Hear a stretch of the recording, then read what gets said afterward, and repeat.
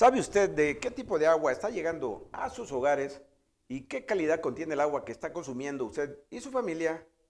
Tenga cuidado, es que el agua que llega a los hogares en las agencias de Trinidad y Viguera y Santa Rosa Panzacola,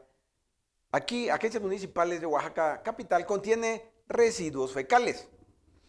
Esto se sabe desde mediados del año pasado. Estudios realizados por la Secretaría de Salud de Oaxaca demostraron la presencia de residuos fecales en el agua potable que se distribuye a los habitantes de ambas agencias municipales. El diputado de Morena, Horacio Sosa Villavicencio, estamos hablando del diputado local, denunció hoy en la tribuna del Congreso que a pesar de la advertencia de los servicios de salud, la situación sigue exactamente igual ahora en Viguera y Santa Rosa Panzacola, agencias municipales del municipio de Oaxaca de Juárez. Por lo anterior, solicitó en el Pleno del Congreso de Oaxaca a los ayuntamientos de los valles centrales que realicen lo necesario para contar con estudios que determinen el grado de contaminación del agua que consumen y que reciben también los habitantes de sus municipios, con el fin de determinar si es apta para o no, si es apta o no para consumo humano.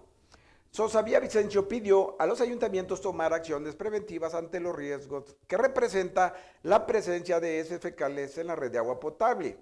que inevitablemente impactará en la salud por la alta posibilidad de contraer enfermedades como salmonelosis, tifoidea, cólera y hepatitis A.